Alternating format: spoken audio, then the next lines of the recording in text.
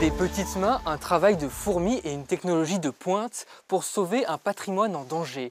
Bonjour et bienvenue pour ce nouveau numéro d'Itinéraire Bretagne consacré aux pierres de la région. Nous sommes à Saint-Malo, dans le quartier de Roténeuf, et sur cette falaise, un petit miracle s'est produit au début du XXe siècle. Un abbé, seul, a taillé pas moins de 230 sculptures. Des œuvres aujourd'hui endommagées, une association se bat pour les préserver.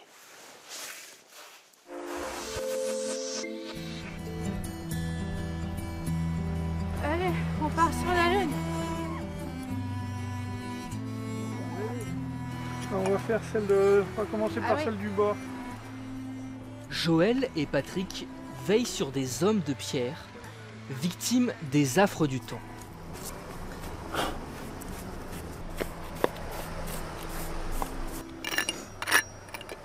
Là, on va passer du, du produit pour enlever les, les lichens qui sont sur la sculpture. Vous voyez tous ces lichens blancs qui fragilisent le, le granit. Donc, on va passer un produit spécifique pour euh, tuer ces lichens. Alors pourquoi ça fragilise euh, le granit? C'est tout simplement que les racines du lichen pénètrent dans la pierre et c'est ça qui va fragiliser la sculpture. À la pointe du Christ repose une dizaine de sculptures, les premières taillées par l'abbé Fourré à la fin du 19e siècle. Depuis six ans, Joël se bat pour ranimer un patrimoine à l'abandon. On a ici sur notre territoire euh, une œuvre euh, unique. Elle est unique parce que c'est le travail d'un seul homme. Et euh, aujourd'hui, on est en train de laisser partir cette œuvre. Et je crois que par respect déjà à son auteur, par respect aussi à notre patrimoine, on, se doit de faire quelque chose. Donc voilà ma motivation. Je n'ai jamais douté et j'irai jusqu'au bout. Mais Joël et Patrick sont impuissants à protéger la falaise sculptée de l'abbé Fourré, propriété d'une société privée qui fait payer l'entrée 2,50€, mais accessible gratuitement depuis la plage à marée basse. Alors ici, on voit Jacques Cartier qui est coiffé d'un chapeau, qui regarde vers la mer. Ici, vous avez ce qu'on appelle la scène du chinois, qui représente un Californien qui donne un coup de pied aux fesses à un Chinois en lui tirant la natte. À l'origine, il y avait à peu près 225 œuvres sculptées ou scellées. Et aujourd'hui, il en reste environ 180, dont, dont pas mal sont détériorées parce que les gens marchent sur les sculptures. On voit que le, le granit est assez friable finalement. Je ne sais pas ce que ça deviendra. Ça vous inquiète? Oui, c'est inquiétant, oui. C'est une, œuvre euh, comme celle de, de Tatin, du facteur cheval, etc., qui devrait être mieux protégée aujourd'hui que ça ne l'est. Aujourd'hui, les rochers sculptés ne sont toujours pas classés ni inscrits aux monuments historiques.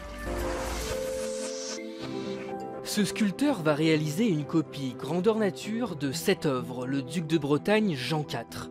Loïc Maillard a repris une carrière il y a 20 ans pour en faire un atelier de restauration à la pointe de la technologie.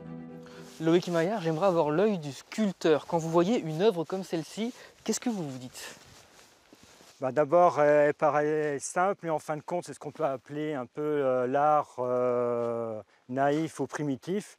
Et en fin de compte, quand on l'étudie euh, de façon un peu plus symbolique, il y a plein de petits détails qui montrent euh, que le, le tailleur de pierre sculpteur a, a donné des symboles, des formes et puis des volumes qui paraissent ici peut-être anodins. Vous voyez un peu les mains, les doigts fermés comme ça, comme s'il était dans une position de recueillement.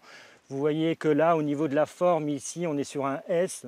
Pratiquement, la tête, elle est courbée, elle n'a pas la même orientation, comme s'il reposait et au calme ici, dans cet environnement et dans, euh, dans cet endroit magique.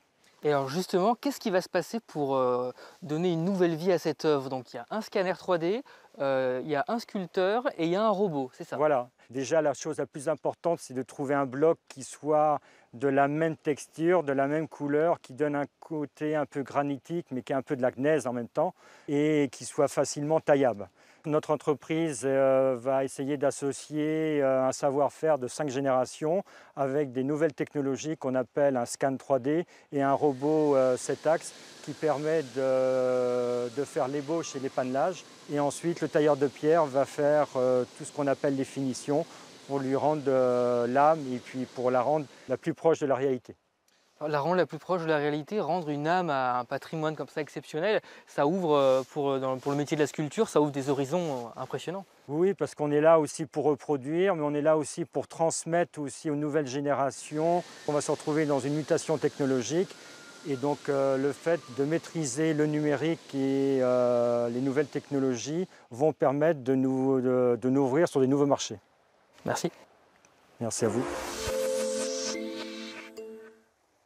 Je vous propose de voir ou revoir un reportage d'archives. Il date de 1985. Cette année-là, un chercheur a identifié qui se cache sous les traits des rochers sculptés.